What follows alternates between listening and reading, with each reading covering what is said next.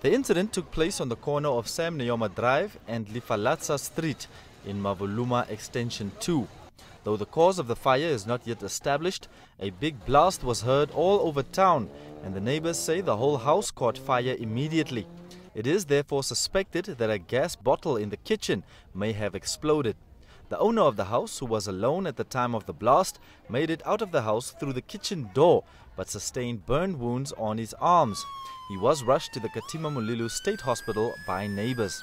Nothing was salvaged from the fire, and the incident is said to have happened so fast that by the time the Katima Mulilo Fire Brigade arrived, the whole house had been engulfed in flames.